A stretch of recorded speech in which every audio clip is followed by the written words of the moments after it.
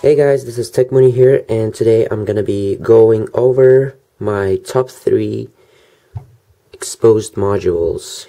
And on number one, it is the YouTube Adaway.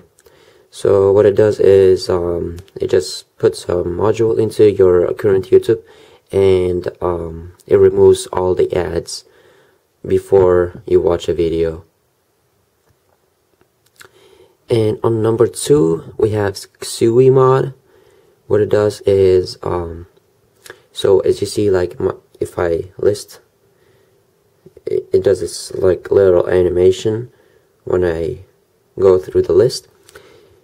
So you can change it by list view animation, and uh, you can choose all these. So I can test it. See, new one. And there are also a lot of customization on this mod and uh, I hope you guys enjoyed it. On number three, I have Gravity Box, which is right here. And what it does is if you have, um, if you don't have a transparent status bar, you can uh, make it by going to Gravity Box and transparency management put it on on 100 and you will get it. And there's also a lot of customization on this module too.